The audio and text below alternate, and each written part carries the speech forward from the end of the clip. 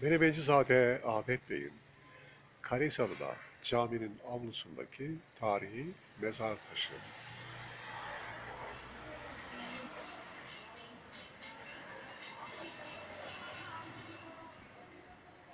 Menemenci Ahmet Bey.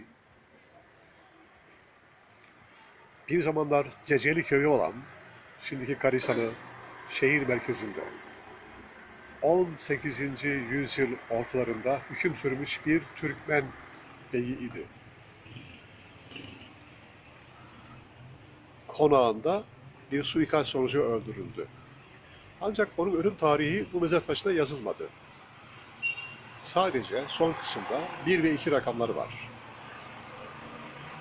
Menemenci Ahmet Bey'i seven, ona saygı duyan aşiret halkı, beylerinin ölmediğini, hatırasının hep yaşadığını düşünerekten bir ve iki rakamını koydular.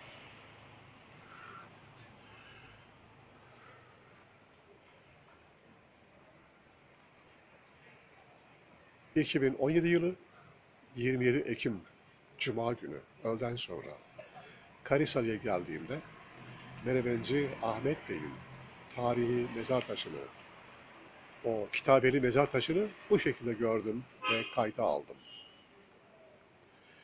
Ahmet Bey'in yaşadıkları ve onun yaşadığı olayların gerçeği tarihçilerin araştırma konusu. Elbette araştırılacak ve yazılacak. Bu mezar taşında yaşanmış olayların sırları saklı. Kim bilir neler oldu.